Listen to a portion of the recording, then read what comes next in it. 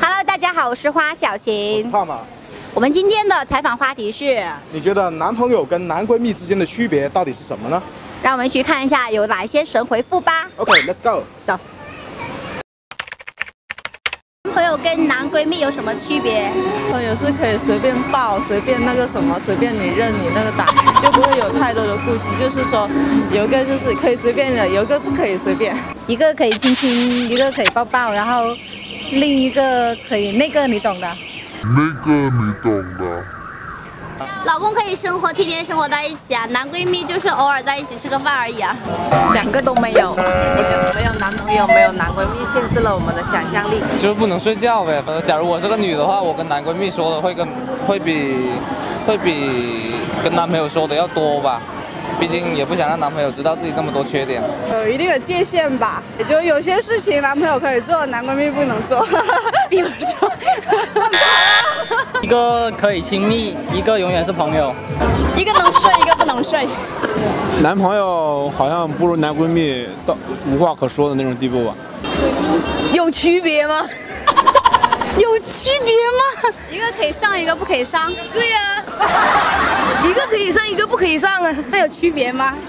区别就是一个可以上，一个不可以上吗。有啊，可以睡呀、可以睡啊。男朋友是亲亲抱抱用的，男闺蜜不能亲亲抱抱。一个能用，一个不能用。男朋友就是拿来买买买的吧，男闺蜜就是拿来说说说的吧。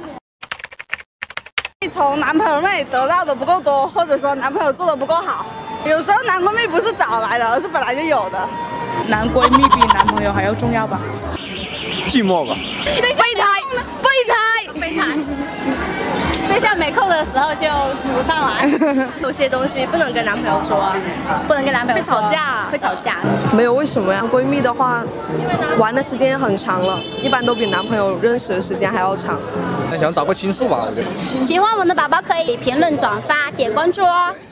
谢谢大家的支持，们不要下期忘了我们。再见，我们下期再见吧。好，谢谢大家支持，我们下期再见，拜拜。你好，请问现在有空吗？能直接接受采访吗？好，我们 Hello，美女，你好，可以打扰一下吗？他直接，他直接无视你飘。接受一下采访吗？我们在做一个街头的采访，就一分钟时间就好了。小姐姐这样又拒绝了。美女能接受一下采访吗？我们这里有几个问题想问一下你，好吗？一分钟时间，我不，我不不害你的，我要不姐姐。那好，请问美女能接受一下采访吗？只需要花你们一分钟的时间，可以吗？很简单的问题。不要走。再做一个小街访，就是一分钟